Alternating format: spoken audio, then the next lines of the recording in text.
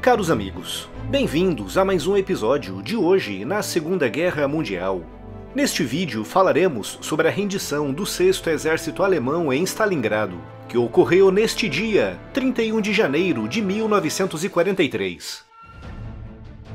Quando a Alemanha invadiu a União Soviética no dia 22 de junho de 1941, no âmbito da Operação Barbarossa, o objetivo de Hitler era derrotar os soviéticos numa única campanha, à semelhança do que tinha feito na Polônia, na Noruega e na França. No máximo, em seis meses, os alemães esperavam ter conquistado todo o oeste russo, toda a Ucrânia, os países bálticos, Leningrado e principalmente a capital do país, Moscou um movimento que eles acreditavam que levaria à queda do governo soviético. Mas em dezembro desse ano, seis meses após o início da operação, apesar dos alemães terem alcançado quase todos os outros objetivos, foram derrotados mesmo às portas de Moscou, com os soviéticos conseguindo salvar a sua capital praticamente no último minuto. Apesar desse contratempo, quando 1942 começou, a Alemanha ainda estava firmemente posicionada no interior da União Soviética, com praticamente toda a Ucrânia sob o seu domínio, toda a Bielorrússia, todos os países bálticos e quase todo o oeste da Rússia. Mas o objetivo de Hitler, que era o de realizar uma guerra rápida, não tinha sido alcançado, e em 1942 eles já sabiam que a guerra no leste seria longa e desgastante. Mas para isso, os alemães precisavam de recursos naturais, principalmente petróleo, e o único lugar onde poderiam encontrar esse petróleo era no Cáucaso, uma ampla região que se estende desde o Mar Negro até o Mar Cáspio e que concentrava mais de 80% das reservas de petróleo soviéticas. Se Hitler conseguisse conquistar todo esse petróleo, teria os recursos necessários para uma guerra longa e desgastante contra o Exército Vermelho. E foi com esse objetivo em mente que, no início do verão europeu, em junho de 1942, os alemães iniciaram a Operação Caso Azul, uma mega ofensiva no setor sul da Frente Oriental, cujo objetivo era, partindo de posições na Ucrânia, avançar pelo sul da Rússia, atravessar o rio Don, seguir em direção ao rio Volga e depois para o sul, em direção ao Cáucaso e às suas ricas reservas de petróleo. Um mês após o início da Operação Caso Azul, os exércitos alemães tinham avançado tanto que Hitler pensou que o Exército Vermelho de Stalin tinha sido destruído e que já não tinha forças para lutar. E por isso, no dia 23 de julho, ordenou a divisão do Grupo de Exército Sul, que estava executando a Operação Caso Azul, criando o Grupo de Exércitos A e o Grupo de Exércitos B. O Grupo A recebeu a missão de continuar a rota originalmente proposta na Operação Caso Azul, e por isso deveria continuar descendo para o sul, em direção ao petróleo do Cáucaso, com o Grupo B recebendo a missão de avançar diretamente contra o rio Volga e a cidade de Stalin, Stalingrado, um objetivo nada estratégico ou importante, mas que Hitler queria destruir devido ao seu significado. E assim, o outrora poderoso Grupo de Exército Sul foi dividido em dois, o que obviamente reduziu pela metade a capacidade ofensiva e defensiva das unidades resultantes. O Grupo B, que seguia para Stalingrado, era liderado pelo 6 Exército Alemão, que em 1942 era vista como a unidade mais bem armada, mais bem motivada e mais bem treinada de todo o exército alemão.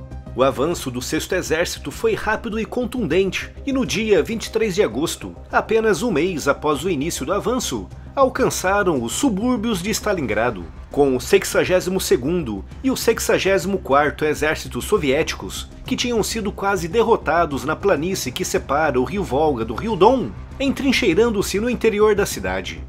Teve início então um pesado e muito concentrado bombardeio aéreo e de artilharia sobre a cidade, com o objetivo de expulsar de lá as forças soviéticas. Nessa época, como Stalin tinha proibido a evacuação de civis, mais de 400 mil não combatentes, na sua maioria crianças, mulheres e idosos, encontravam-se ainda na cidade com estatísticas indicando que mais de 40 mil foram mortos apenas nessa fase inicial de bombardeios alemães. No início de setembro, após duas semanas de bombardeios incessantes, 24 horas por dia, a cidade de Stalingrado estava reduzida a um monte fumegante de escombros, mas os soldados soviéticos continuavam entrincheirados no seu interior. Nessa época, o exército alemão já controlava as margens do Volga, tanto ao norte como ao sul da cidade, e poderia simplesmente ter atravessado o rio e cercado a cidade pela outra margem. Mas Hitler queria capturar e destruir Stalingrado, a cidade de Stalin e por isso ordenou que o Sexto Exército entrasse nas ruínas e expulsasse de lá as forças do Exército Vermelho, com forças italianas, romenas e húngaras, muito mais fracas, ficando responsáveis pelo flanco à volta da cidade. Durante o mês de setembro, o avanço foi imparável, graças principalmente aos ataques aéreos dos temíveis bombardeiros Stuka, que conseguiam destruir casas e edifícios ocupados pelos soviéticos com incrível precisão. No meio de setembro, 90% da cidade já estava em mãos alemãs, com as restantes forças soviéticas divididas em duas pequenas bolsas. Momento no qual o comandante do Sexto Exército, o general Friedrich Paulus, anunciou com toda pompa e circunstância que a cidade de Stalingrado cairia no máximo em outubro e que antes do ano terminar, o rio Volga teria sido cortado pelos alemães. Se esse objetivo tivesse se concretizado, Stalin não teria mais acesso ao precioso petróleo do Cáucaso e o seu exército, que já tinha perdido os campos agrícolas da Ucrânia, não teria mais como lutar. Mas apesar de toda a confiança e da fantástica máquina de guerra lançada pelos alemães contra Stalingrado, os soviéticos simplesmente não saíam da cidade. Nessa época, Stalin iniciou uma política conhecida como Nem um Passo Atrás, que proibia qualquer soldado ou comandante de recuar em Stalingrado, e para forçar a execução dessa política, o Exército Vermelho posicionava pequenas unidades na retaguarda das suas próprias forças, com ordens expressas para disparar e matar quem voltasse para trás. Essa política levou a batalhas horrivelmente sangrentas, como por exemplo no Mamayev Kurgan, o único ponto elevado da cidade, e que por isso foi acirradamente disputado pelos alemães e pelos soviéticos. No auge da batalha, a expectativa de vida de um soldado enviado para o Mamayev Kurgan, tanto alemão como soviético, era, acreditem ou não, de apenas duas horas. Tal era a ferocidade dos combates. Depois da guerra, os soviéticos contaram mais de 15 mil corpos enterrados ou semi-enterrados apenas naquela pequena região. As duas bolsas soviéticas de resistência no interior da cidade eram mantidas por meio de travessias perigosas do rio Volga, com soldados acotovelados em balsas que eram metralhadas e bombardeadas pelos alemães. Muitos soldados soviéticos eram lançados para a frente de batalha sem armas e equipamentos adequados, e com frequência eram enviados em duplas, com apenas um fuzil para os dois. Os escombros criados pelos destruidores bombardeios criaram um labirinto de trincheiras e obstáculos que eram usados por ambos os lados em emboscadas e em ataques. Devido aos escombros e às ruas estreitas, os blindados alemães não podiam entrar na cidade, e por isso os combates eram quase corpo a corpo. Era frequente unidades alemãs e soviéticas disputarem a mesma casa cômodo a cômodo, com pequenos prédios ocupados tanto por um como pelo outro lado. Como lutavam tão próximos, os alemães não podiam sequer bombardear a cidade, sob risco de matar os seus próprios soldados. Em Stalingrado, os atiradores furtivos atuaram com grande eficiência, aproveitando-se das ruínas, escondendo-se em locais escuros e protegidos e escolhendo as suas vítimas com cuidado. Estima-se que apenas na cidade, mais de 3 mil militares, tanto soviéticos como alemães, na sua maioria oficiais, foram mortos por atiradores furtivos. O destaque vai para Vasily Zaitsev, que matou 225 soldados alemães, dos quais 11 eram atiradores furtivos, alguns deles enviados especificamente para caçá-lo. Esse tipo de combate era péssimo para o soldado alemão, habituado a combater em grandes e amplas manobras de cerco, mas era perfeito para o soldado soviético. No início de novembro, quase 95% de Stalingrado estava nas mãos alemãs, e Hitler estava tão cego e obcecado por esse objetivo que não reparou que nos flancos o Exército Vermelho se preparava para atacar. Graças a uma série de manobras muito bem preparadas, os generais Georg Zukov e Alexander Vasilevsky conseguiram concentrar nos flancos norte e sul de Stalingrado mais de um milhão de soldados e quase mil blindados e 14 mil peças de artilharia. E no dia 19 de novembro de 1942, com o Sexto Exército profundamente preso nos escombros da cidade, esses dois flancos avançaram no âmbito da Operação Uranus, um em direção ao outro, num grande movimento de pinça. Mais de um milhão de soldados soviéticos avançando em simultâneo a partir do norte e a partir do sul, contra flancos mal protegidos por italianos, húngaros e romenos. O avanço foi tão rápido que em apenas quatro dias, as duas pontas tinham se unido a oeste de Stalingrado, cercando todo o sexto exército alemão, bem como algumas tropas auxiliares de outras nacionalidades, totalizando cerca de 270 mil soldados. Quando ficou comprovado que os alemães estavam cercados em Stalingrado, o marechal de campo Erich von Manstein disse a Hitler que o Sexto Exército deveria abandonar a cidade e tentar quebrar o cerco enquanto os soviéticos ainda não tinham fortificado a região. Mas Hermann Göring, o chefe da Luftwaffe, tinha garantido a Hitler que os seus aviões seriam capazes de suprir as necessidades do Sexto Exército cercado, e por isso a sugestão de tentar quebrar o cerco foi recusada.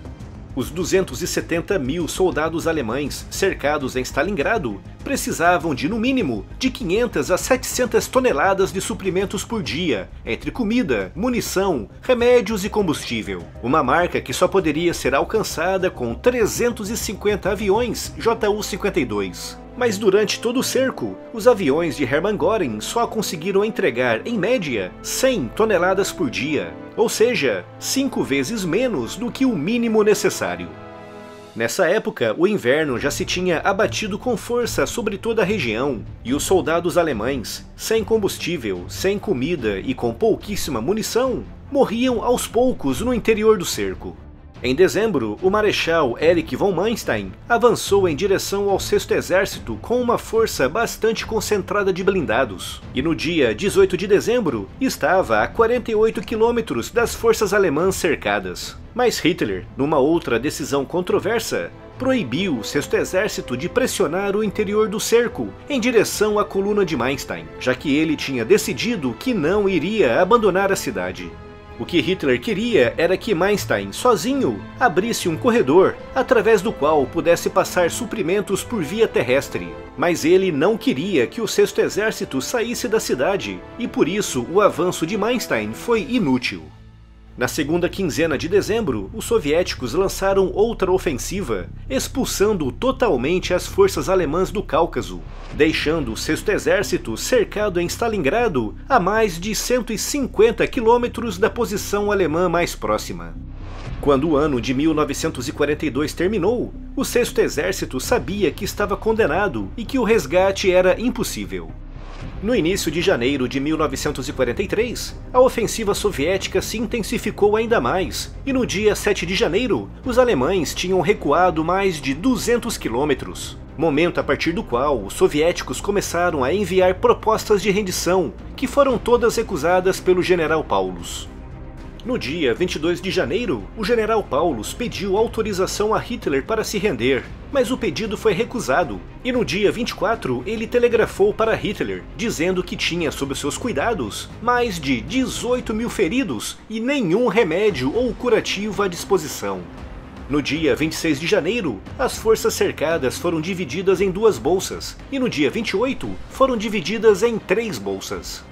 No dia 30 de janeiro, já não havia mais nada a ser feito e Hitler, num ato bastante solene, elevou o general Paulus ao posto de marechal de campo, uma clara mensagem dizendo para ele não se render e morrer lutando, ou no pior dos cenários, se suicidar já que nunca na história alemã, desde 1871, um marechal de campo se rendeu para o inimigo.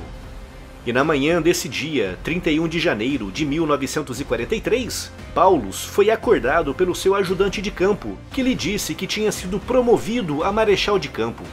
Paulus sabia muito bem o que isso significava e respondeu: Não me vou matar por Hitler. E no final da manhã, forças soviéticas entraram no quartel-general de Paulus para negociar a rendição, algo que foi concluído no início da tarde desse dia. Na última mensagem oficial enviada por Paulus para Berlim, ele propositalmente omitiu a tradicional saudação a Hitler, escrevendo no seu lugar: Longa vida à Alemanha. Outras bolsas resistiram até o dia 2 de fevereiro, com pequenos grupos de soldados alemães lutando até quase o final de fevereiro. É muito difícil calcular o total de baixas, mas estima-se que apenas em Stalingrado, os soviéticos tiveram mais de 1 milhão e 100 mil baixas, com as forças do eixo perdendo mais de 600 mil soldados, entre mortos, feridos e capturados. Foi a pior derrota alemã em toda a guerra, da qual nunca mais iriam se recuperar.